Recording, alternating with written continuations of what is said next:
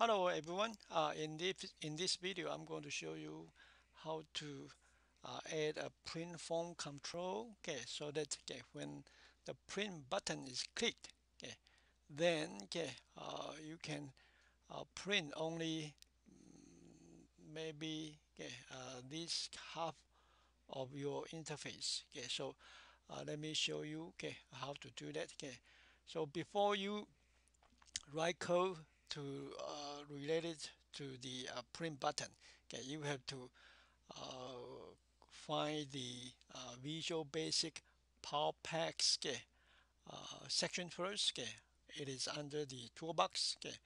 And then look for control okay called a print form okay and then select the control drag and drop one okay.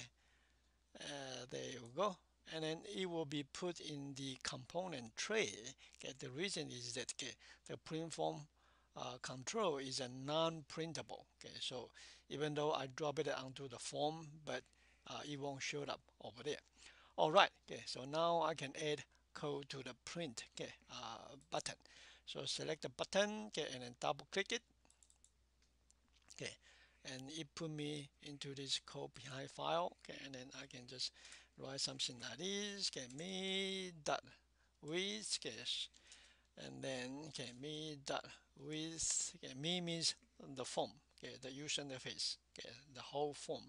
And assume I want to reduce uh, the width to about 125 okay. And then okay I can uh, use the uh, print form uh, control okay style okay to set it to uh, preview mode first. Okay so get printing okay there you go the preview and then okay uh, I can print okay I can print okay if I want to okay. Just call the print method.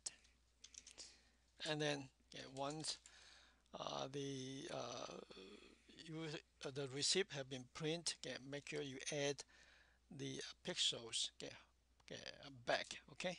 So now let me do this again. Me the width okay and then add 1 to 5 okay? So now okay let me run the application.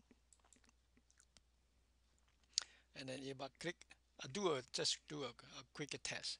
Click the print ah pretty good. So you see okay this will be the preview okay, of your uh, sales receipt. And it hide okay, it hides the uh, buttons okay yeah. Because end users uh, do not need to see those buttons okay. They just need to see the date the number of DVD uh, purchased the number of Blu-rays uh, DVD purchased and then the total disc and then the total sales price. All right okay so if you want to print you can click print okay. And then uh, once you're done you can click the close okay. Okay let me cancel the print okay then close it okay then you can you will add okay, the 125 pixels back and then uh, restore the form back to you. Then you can uh, uh, print out uh, different receipts okay, uh, based on different inputs. All right okay that will be all. Okay so let me stop it right now